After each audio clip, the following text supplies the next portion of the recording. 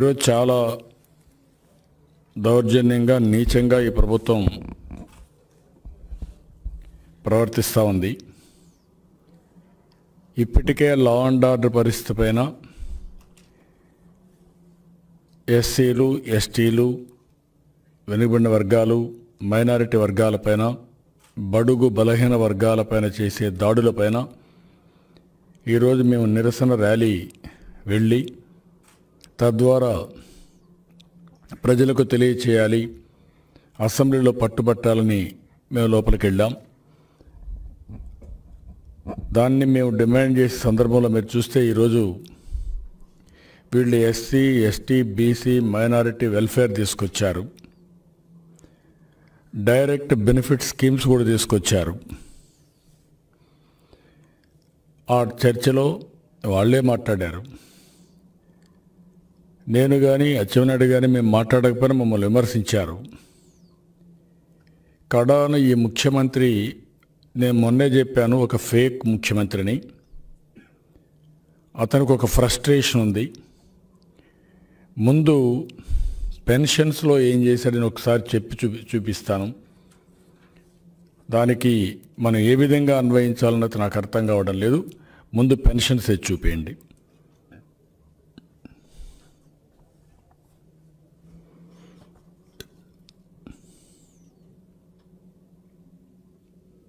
Similarly అధ్యక్ష October రెండు వేల పద్దెనిమిది దాకా అధ్యక్ష అంటే ఎన్నికలకు కేవలం ఆరు నెలల ముందు అధ్యక్ష ఎన్నికలకు ఆరు నెలల ముందు వరకు వీళ్ళ పెన్షన్ల సంఖ్య ఎంత తెలుసా అధ్యక్ష?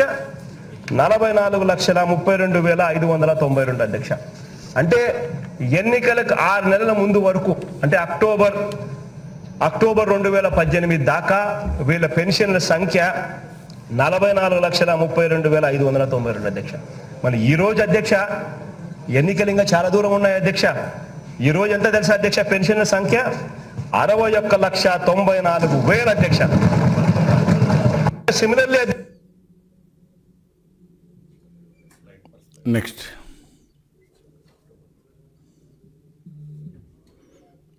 వాళ్ళ డా డాష్ ఉండే ఫిగర్స్ ఇవన్నీ.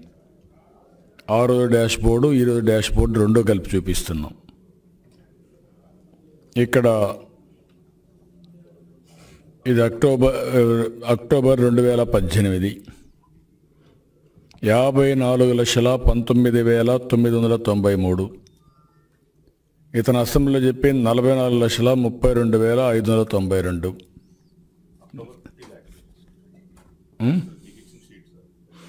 సారీ. అక్టోబర్లో ఫిఫ్టీ ఫోర్ ల్యాక్స్ రెండు వేల పద్దెనిమిది అక్టోబర్. ఓకే. అక్టోబర్లో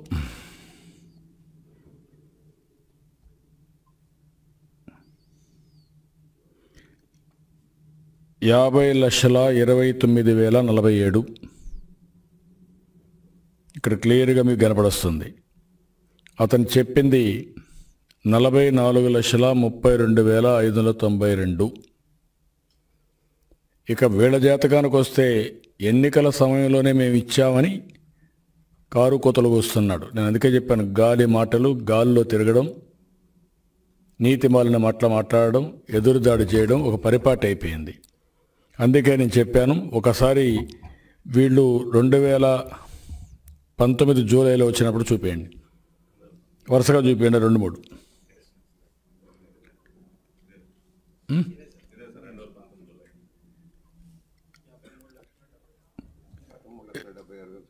యాభై మూడు లక్షల డెబ్భై ఆరు వేల తొమ్మిది వందల ముప్పై ఆరు. అంటే దీన్ని బట్టి చూస్తే అప్పటికి ఏప్రిల్కి జూలైకి తగ్గాయి. సెప్టెంబర్కి యాభై మూడు వేల ఐదు యాభై ఏడు లక్షల ఏడు వందల యాభై మూడు ఇంకా తగ్గాయి. అంటే వీళ్ళు వచ్చిన తర్వాత యాభై లక్షల ఇరవై తొమ్మిది వేల నలభై ఏడు ఉన్నాయి. యాభై లక్షలు. ఏప్రిల్ పంతొమ్మిదికి మళ్ళీ మేమున్నప్పుడే యాభై నాలుగు లక్షల పంతొమ్మిది వేలు ఉన్నాయి. వీళ్ళు వస్తానే జూలైకి యాభై మూడు లక్షల డెబ్బై ఆరు వేలు తగ్గాయి. సెప్టెంబర్కి యాభై మూడు లక్షల యాభై ఏడు తగ్గాయి. ఫర్దర్గా తగ్గించారు. నవ్ యాభై మూడు లక్షల యాభై ఏడు వేలు. నవంబర్ యాభై మూడు లక్షల ఇరవై నాలుగు వేలు. డిసెంబర్ యాభై మూడు లక్షల తొమ్మిది వేలు. జనవరి యాభై రెండు లక్షల తొంభై వేలు. అప్ టు జనవరి బాగా తగ్గించుకుంటూ వచ్చి అందరికీ తెలుగుదేశం అనుకున్న వాళ్ళందరూ తీసేసి ఇప్పుడు ఏదైతే మాట్లాడుతున్నారో డ్రామాలు ఆడుతున్నారో ఆ డ్రామాలన్నీ నాటకాలని చెప్పి తేల్చడం కోసం ఈ ఫిగర్స్ చూస్తేనే అర్థమవుతుంది. ఆ రోజు ప్రతి ఒక్కరు మాట్లాడితే జన్మభూమి కమిటీలు కలెక్టర్లు వాళ్ళే చేశారని మాట్లాడుతున్నారు.